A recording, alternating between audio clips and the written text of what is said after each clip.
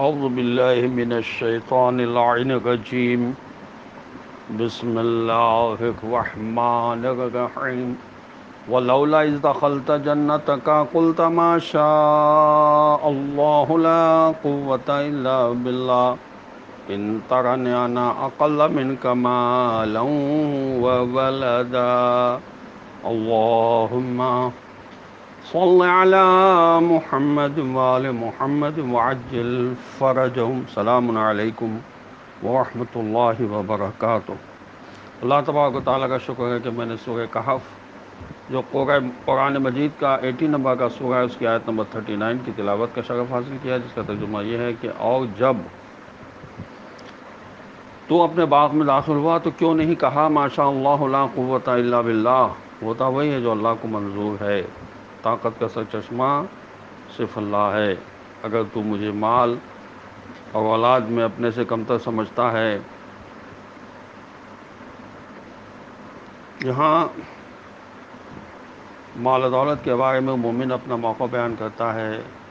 माल दौलत के हसूल में इंसान को इस्तलाल हासिल नहीं है। इसमें मशीत इलाही का भी दखल है। माल दौलत का जब मुशाह हो इस दखल दखलता जन्नत का तो ये मौक़ इख्तियार करना चाहिए। माशा होता वही है जो अल्लाह चाहता है और ताकत व क़ुव्वत का सर चश्मा सिर्फ़ अल्लाह है। ला क़ुव्वत इल्ला बिल्लाह। जागीदार की सरमादाराना मादी सोच के मुकाबले में मोमिन अपना मौक़ नहायत महजब और मनतकी अंदाज में पेश करता है। जागीरदार ने फ़िया गैर महजब अंदाज में कहा था मैं तुमसे ज़्यादा मालदार हूँ और अफराधी ताकत में तुमसे बालातर हूँ। मोमिन ने जवाब में कहा, तुझे एक नापायदार जागीर पर नाज है, जबकि मुझे उस जागीर पर नाज है जो मेरे रब के पास महफूज है। क्योंकि तुम्हारी कदरों के मुताबिक मैं माल औलाद में तुमसे कमतर ज़रूर हूँ, लेकिन इलाही कदरों के मुताबिक जिस जागीर का मैं मालिक बनने वाला हूँ, वो तेरी नापायदार जागीर से बेहतर है। पासा रबी युक्ति यानी खैर मिन जन्नत तेरी जागीर आसम तेरी जागीर आसमानी और ज़मीनी आफत की ज़िद में है। जद में है, हो सकता है आसमान से तेरी जागीर पर आफत गिरे और ज़मीन खुश्क हो जाए। इसलिए इंसान को सबक बनना चाहिए सबक की अलामत, कुरान ने यह बताई सुर बकर की आयत नंबर एक सौ पचपन में वबशर स्वाबिन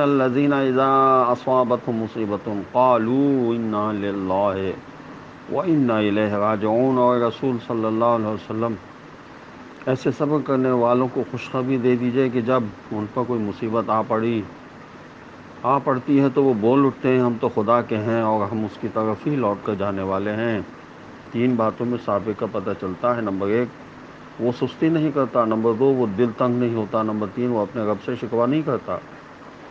क्योंकि अगर वो सुस्ती करे तो हक़ को ज़ाय कर देगा। अगर दिल तंगी करे तो शुक्र को अदा नहीं कर पाएगा।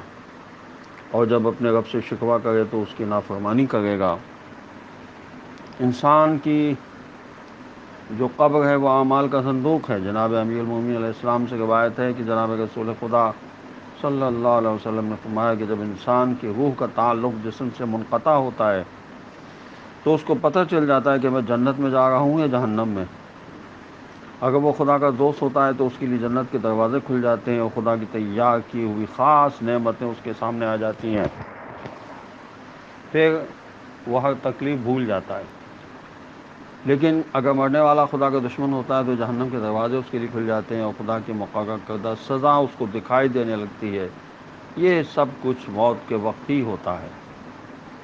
फिर आपने यही आयत तिलावत फरमाई, अल्लाजीना ततवफ़ाहमलमलाइकत तयबीना यकूल सलामकुम उदखुलजन्ना बेमकुन तुम तामलून हज़रत अली इबन तालब ने फरमाया, अलकब्र या संदूक़मल यानी कब्र आमाल का संदूक है।